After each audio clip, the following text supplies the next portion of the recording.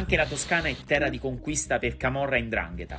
Dopo anni di silenzi, alcune operazioni dell'antimafia hanno mostrato i forti interessi di Casalesi e Ndrine. Solo pochi giorni fa un'operazione ha portato all'arresto di 23 persone che gestivano traffico di cocaina, controllo di lavori stradali e smaltimento illecito di rifiuti. È emerso intanto ancora una volta l'interesse delle cosche mafiose, in questo caso dell'Andrangheta, a fare affari in Toscana e ad occuparsi di settori particolarmente redditizi sia nel campo illecito, cioè il traffico di droga, l'estorsione e gli appalti, sia nel campo apparentemente lecito che la gestione dei rifiuti. A lasciare sterefatti però sono soprattutto le ceneri altamente inquinanti delle concerie riutilizzate nell'attività edilizia, tra cui circa 8.000 tonnellate utilizzate proprio per la costruzione di questo lotto stradale, il quinto lotto della strada regionale 429 che collega Castelfiorentino ad Empoli. Tutto questo naturalmente può preoccupare perché una volta che saranno finite le analisi che in parte già abbiamo realizzato, sarà possibile stabilire il tasso effettivo di inquinamento che queste, questa cosa comunque in ipotesi d'accusa assolutamente illecita ha effettivamente comportato per le falde acquifere sottostanti.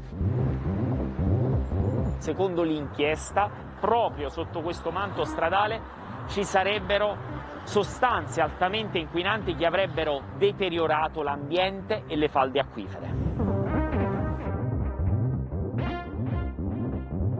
La presenza dell'andrangheta in realtà non nasce oggi e forse a lungo si è sottovalutato il fenomeno. La Toscana per, per la mafia non è una novità.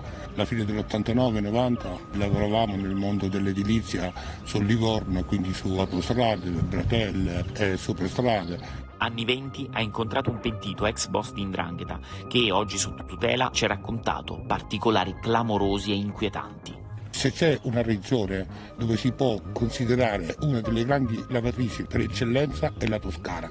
Noi non abbiamo mai sentito parlare proprio perché lì avvengono, avvengono degli investimenti e dei riciclaggi di denari molto significativi, ma da tantissimo tempo in Toscana non ammazzano nessuno, quindi là c'è un interesse mafioso, politico, istituzionale a tenere tutto buono perché naturalmente dove ci sono grossi interessi si spara poco, si fa poco rumore. Ma la Toscana è terra d'approdo non solo per l'andrangheta, ma anche per i casalesi, per i quali il cemento è oro. Soltanto pochi mesi fa l'operazione Minerva ha fatto emergere un sistema di autoriciclaggio e fatturazioni false che ha portato al sequestro di beni per 8 milioni di euro. La struttura era molto complessa e noi l'abbiamo ricostruita come una sorta di gruppo. Le società eh, erano distribuite su tre livelli distinti diciamo, un livello che era quello che effettivamente faceva i lavori attraverso degli appalti di manodopera, quindi venivano dislocati nei vari cantieri anche cantieri pubblici della manovalanza che eh, svolgeva dei lavori.